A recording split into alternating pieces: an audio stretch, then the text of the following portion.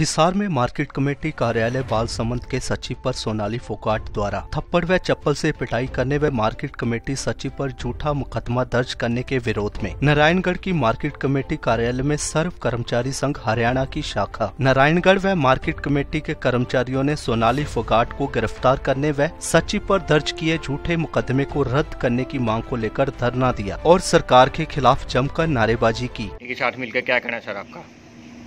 कल हिसार के अंदर, बाल समंद मंडी के अंदर जो बीजेपी की नेता है सोनाली फोगाट। उसने मार्केट कमेटी के सेक्रेटरी साथी सुल्तान सिंह पे जो हमला किया है, उसके साथ मार पिटाई की है।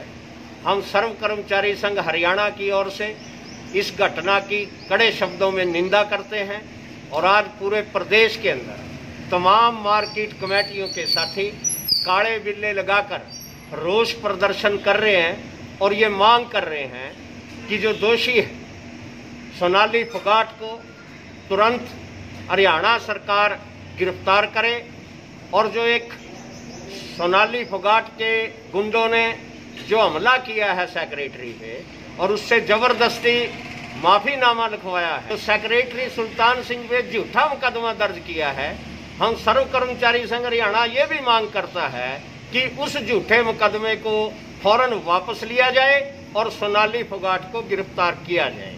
क्योंकि बीजेपी की जो सरकार है, इसमें लगातार जो एक गुंडागर्दी, एक तानाशाही बढ़ रही है, इसको कभी भी सर्व कर्मचारी संघ हरियाणा बर्दाश्त नहीं कर सकता। आज इस कोरोना के महामारी के चलते पूरे मार्केट कमेटियों के कर्मचारी तमाम किसानों की मदद करने के लिए इस लॉकडाउन में भी उनकी सेवा में लगे रहे, उनकी फ़सलों की खरीद फरोख्त में लगे रहे, तमाम कार्य किया है। लेकिन अगर इन हालात में भी बीजेपी के नेता इस प्रकार की गुंडागर्दी करेंगे तो इससे बड़ी और तानाशाही सरकार की क्या हो सकती है? घटना की इस बीजेपी की तानाशाही की।